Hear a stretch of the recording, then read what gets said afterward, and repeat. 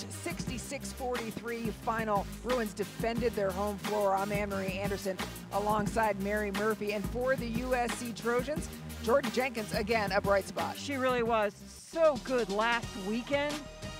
Tonight, 17 points. The efficiency, 7 of 11 shooting from the floor.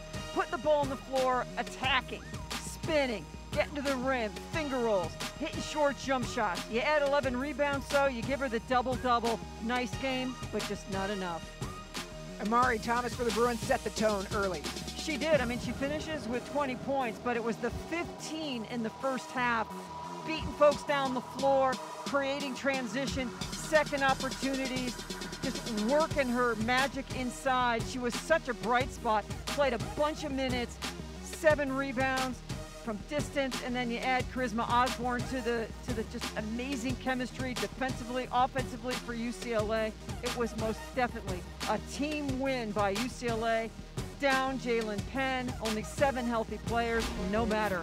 The big win at home at Pauley. Of all these numbers, what stands out to you, Mary? The defense. It created 27 turnovers by USC. The points off turnovers, they did a great job on the boards, the offensive boards and a, a, big, big win as UCLA moves to three and one in conference. For USC, a great three-point shooting team. They shot 12% from the floor. That's a season low. These two teams will meet again Sunday in the Galen Center at 6 p.m.